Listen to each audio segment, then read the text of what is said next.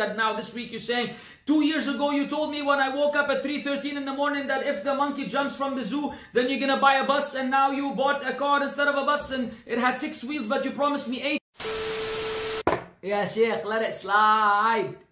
What does let it slide mean? It doesn't mean you go to Toys R Us and you bring a slide and then you let it slide. You let you put something on it and you say, well, uh, brother, I let it slide. Now what? Let it slide meaning, yani, let things go. Yani, your parents messed up somewhere. Give them two, not one blind, give them two blind eyes. Become blind. So what? I, I didn't see anything. Did one of you say something wrong to me? Did one of you oppress me? Did one of you scream at me unjustly? I didn't see it. I didn't hear it. I didn't see it. I didn't hear it. That, that's letting it slide. Not being like an auditor, standing there, hmm, Show me all the transactions for the year 2020.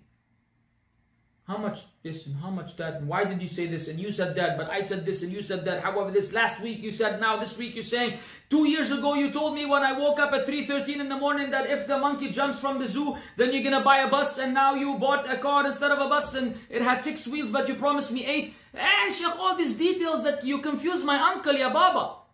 Let it slide, ya Sheikh. Khalli walli. Khalli walli. This is if there's one Arabic expression that is not in the proper Arabic language that all the Muslims in the world should learn, should learn, even if you don't want to learn Arabic, it is khali wali, depending on how you want to pronounce it with the Western accent. Khali wali or khali wali. Let it go. That's actually what let it slide means.